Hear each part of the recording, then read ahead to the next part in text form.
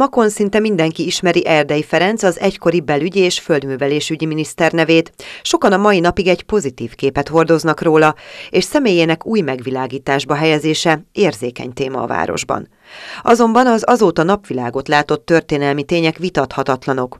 Kiszolgálója és hű követője volt Rákosi Mátyásnak, Nagy Imrének, majd Kádár Jánosnak is, azaz a diktatúra minden szintjének.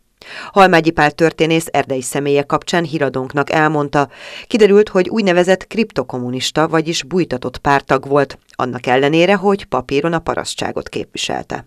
Az biztos, hogy a magyar mezőgazdaság a kis tulajdonos parasztságnak a birtokait az ő földművelésügyi miniszterség alapján vették el, a padlásokat akkor söpörték le, akkor volt a legkeményebb a beszolgáltási rendszer 49-től 53-ig. Ma döntött a grémium, az Erdei Ferenc teret átnevezik Aradi térre.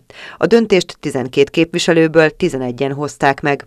A DK-s Mucsi Tamás nemmel szavazott. Mágori András települési képviselő televíziónknak elmondta, érti az érveit, hiszen baloldali pártot képvisel, és még mindig sokan vannak makon, akik annak példaképét látják Erdei Ferencben, hogy egy paraszti családból származó ember is törhet nagyra. Ám sajnos Erdei egykori tettei már sokkal kevésbé példásak. Aki életeket tört ketté, gazdaságokat felszámolt, embereket vertek agyon, nyomorítottak meg a nevében, tehát egy ö, mindenképpen elviselhetetlen ö, állapot az, hogy őről még itt Makón bármi el van nevezve.